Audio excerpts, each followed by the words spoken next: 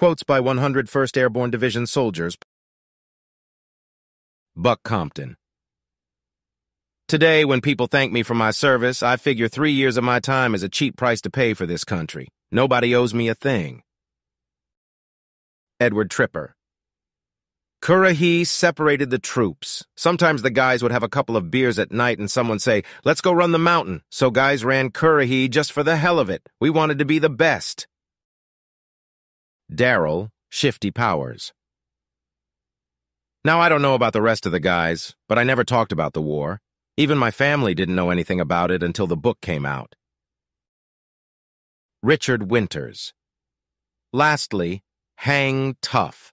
Never, ever give up regardless of the adversity. If you are a leader, a fellow who other fellows look to, you have to keep going.